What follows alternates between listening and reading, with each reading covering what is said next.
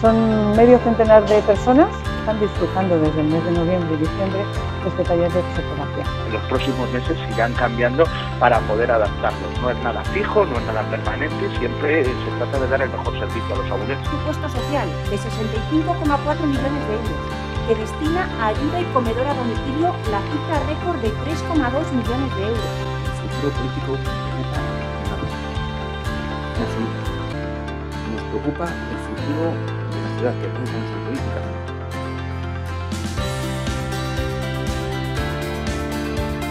Que más allá de buenas palabras, la accesibilidad universal sea una realidad en el edificio principal de esta institución.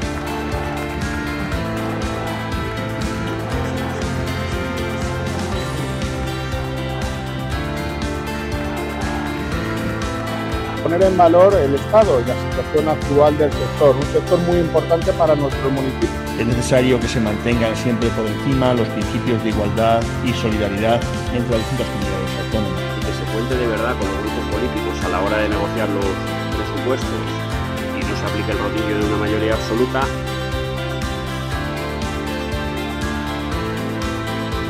Que se va a intervenir las aceras que se encuentran entre este inmueble y la zona jardinada y también en la zona de esparcimiento entre la iglesia y el paseo de Santa María de la Cabeza